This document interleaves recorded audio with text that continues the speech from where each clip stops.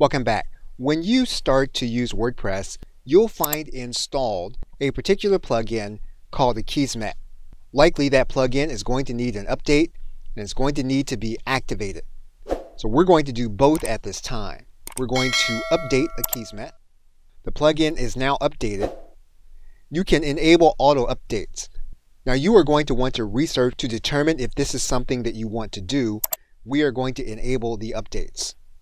Now that we have enabled auto updates for a Akismet, we're going to activate a Akismet. You are now going to have a choice.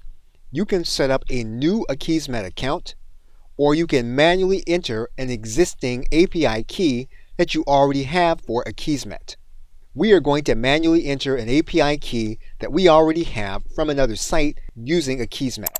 We're going to click on enter the key and we're going to get the key from another site and we're going to add it to Akismet. We're going to go inside of another site. We're going to click on the settings. That API key is now grayed out.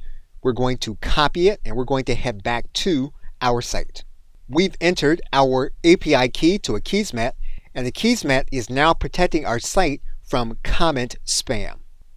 We can make Akismet more secure we can customize Akismet with two other features, or we can leave the default features.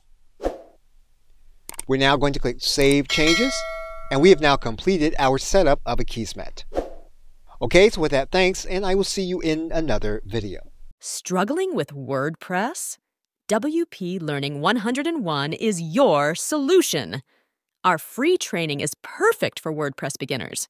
Click the link below to join WP Learning101.com and start mastering WordPress today.